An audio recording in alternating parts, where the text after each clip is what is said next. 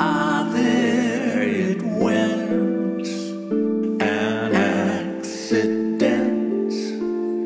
Don't blame myself.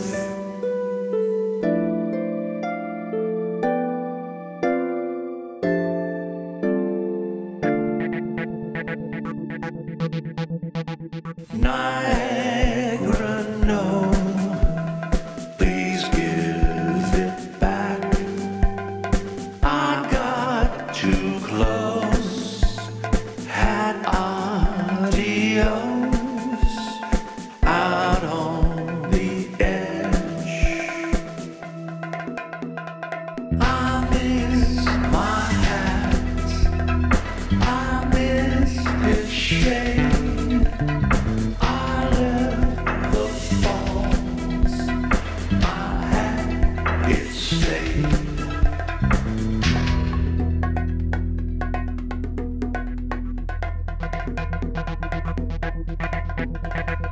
linda.